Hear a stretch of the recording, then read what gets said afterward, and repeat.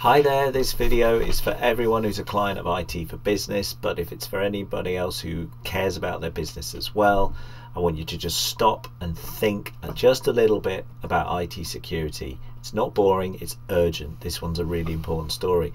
So what's happened is my parents received a letter from their uh, IFA and it's a pretty gut-wrenching letter if you're the CEO of the IFA. I've tried to mask out all the bits of it there, but let's have a look at what it really talks about.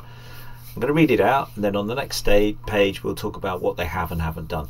As a current client of the financial practice advisor within Wealth Management Company, I'm writing to you to say we're aware of a data breach within the company.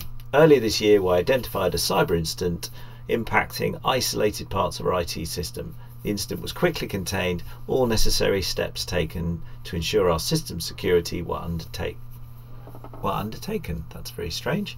We also informed the relevant authorities and regulators. I've been working with them throughout our response to the incident.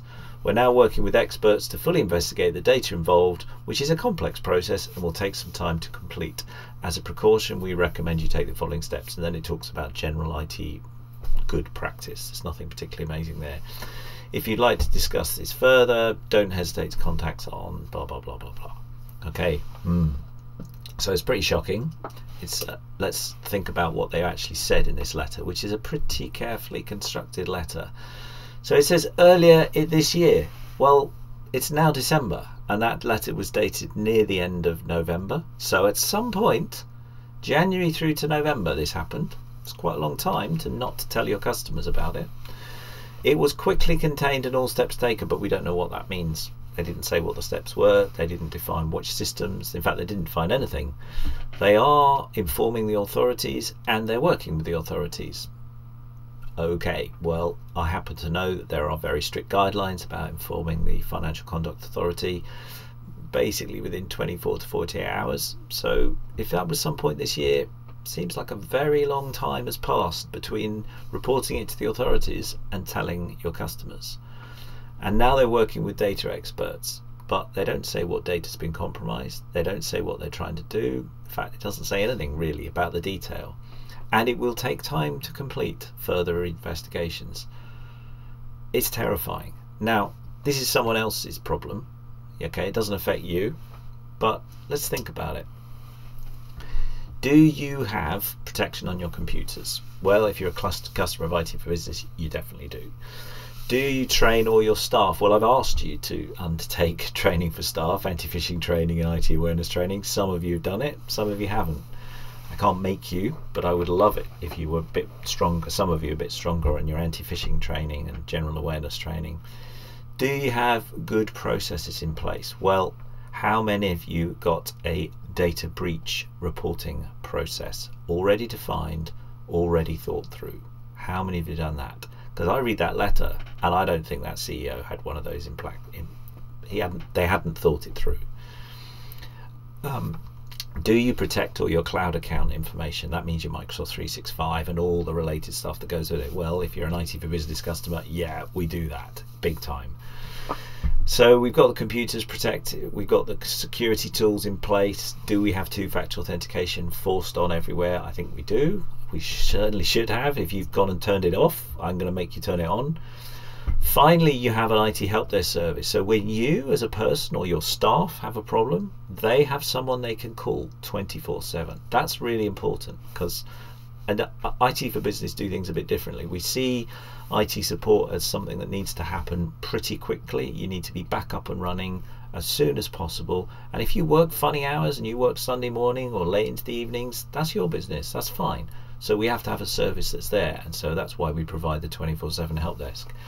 But there's been a piece that's been missing until fairly recently, at least missing as, at a price that was affordable, and that's a security operations center service. So what this is is a group of human beings who work in a center 24/7 and they're constantly watching your machine and all the information that your machine reports about activity and the SOC's job is to pounce on any machine that falls out of alignment. Something odd has happened.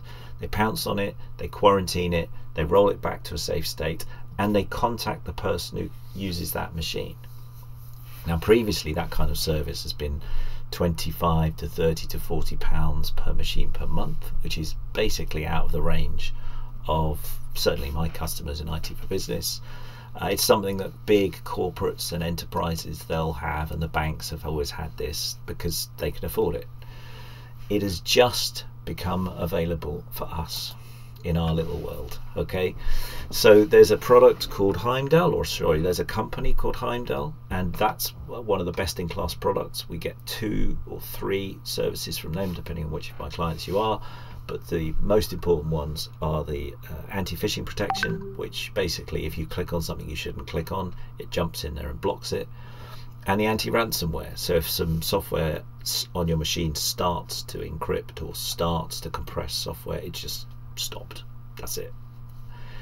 Now the company Heimdal have basically decided to go the next level and provide this SOC center assuming that you've got their tools installed which we already have it's a fantastic service. It's absolutely incredibly useful. And if I bring the story back to that letter, they clearly did not have a SOC service in place because if they did, they would have spotted this breach a lot sooner than they're reporting that they did. So £15 per machine per month. It's a fantastic deal uh, please reach out to me if you're interested in this. I think if you're in a regulated sector, you pretty much can't avoid having it. You you've just got to do it, and it will bring down the cost of your insurance. I mean, this is one of the final pieces. Well, it's almost beyond what Cyber Essentials, uh, the government scheme, requires. But it's not just about ticking the boxes. It's about thinking, I own this business. How would I feel if I had to write a letter to all my customers or clients to say, I'm really sorry We've had a breach. I don't know what's been stolen. I don't know how long it's going to take. I really don't know how exposed you are. Do you want to write that letter? Do you really want to deal with that? I mean, basically, the trust is destroyed between you and your clients. How could how could you carry on trading like that? They're all going to leave. So certainly, my parents are going to be leaving. You could make that. They're certainly moving their investments elsewhere because you've lost all trust. So quite uh, sorry, quite a sobering um, uh, message to send. But let's go through the last few things. Do you have a we've had an IT breach process? You probably haven't. It's one of those you really need to think it through. Who are you going to tell? How are you going to do it? What order? Which members of staff need to know what? If you're in a slightly larger company, you might need to think about how you're going to tell your larger clients about what's happened. I go on and on about two-factor authentication. It's two things. It's not just having that extra code to, to log in, but it's also you mustn't get phished because if you get phished, if you get persuaded to click on a link and persuaded to log in, even if you've got two-factor authentication, the bad guys have tricked you. So you you've been breached. So it's not just about having two-factor authentication, but that's a big deal. But it's about having the staff awareness not to fall for being phished obviously if you're one of an IT for business client you've got the protection tools and services in place. But I can't make you do the staff awareness and the training. So please have a long hard think about have we done enough staff training? And finally policies procedures and tools. Okay the we've had a breach process is one of those but increasingly you need to start saying as the owners of the company and as the senior managers of the company what's our policy on working remotely? What's our policy on traveling? Uh, what's our policy on if we've lost a computer, we how do we react? And very specifically, the procedure. So the procedure for we've lost a computer is to do this, report to here, do this. How do we order a new one? How do we make sure the data? There's a load of procedures, whereas the policies are aspirational things. Um, so there's a lot to think about as a spin-off from this letter, but you have to say wow, it's really happening to people. It's really there. What are we going to do about it? So if you've got any more questions, please raise, raise reach out to me, alex at itforbusinessuk.com, or give me a call using the mobile number, or reach out on LinkedIn and speak to you soon. Thanks.